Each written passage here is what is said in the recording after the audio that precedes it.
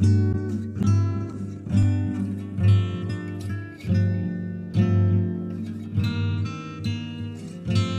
then I talked with Julian's daughter, Lola, because she was the one filming Emmanuelle.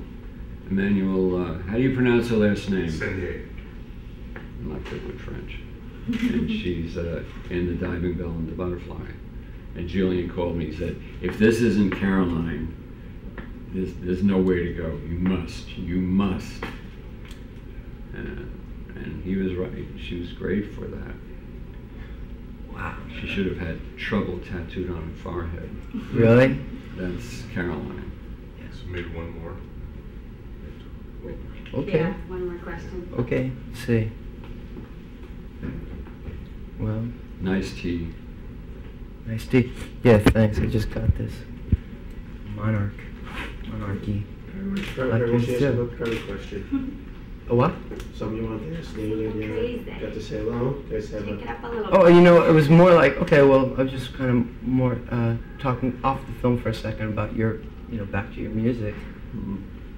You gonna go out soon and, and tour? Or, you know, where you We're going? going to go uh, do a little tour of America.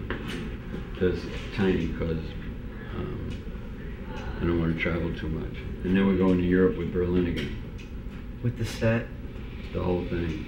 What's really funny, we had to do it, at, we did in Australia because they were the backers along with St. Ann's, so that we could make Berlin. And it was never going to be a movie. It was never meant to be a movie. It was, it's just, Julian said, let's put up our own money and film this. It's the only time it's going to be here. If we don't film it, we'll never see it again. and he brought in these amazing people like Ellen Kuras.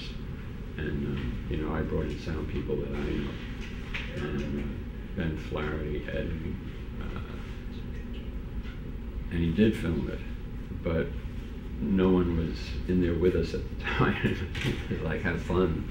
You know, hope you get, you know, That's a good way to work. I, I did a movie one time. I actually told everybody to get the hell out of there, so that I could concentrate on acting. hmm Right?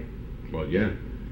In our case, it was uh, no one would back us, so we backed us. We formed a little a little company to back ourselves with.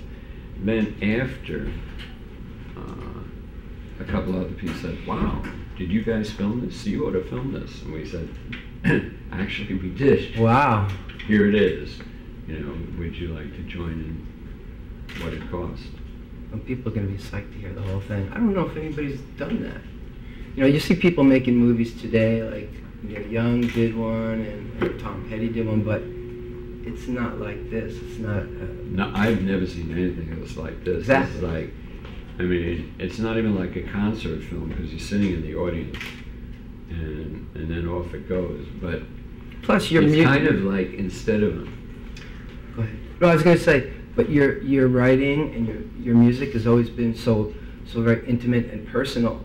So it's you're right. It's not like a concert where you're saying everybody come in here and listen to this, please. It's more like, okay, so Lou Reed's opening up his head a little bit. I want to like it's a chance to jump in there.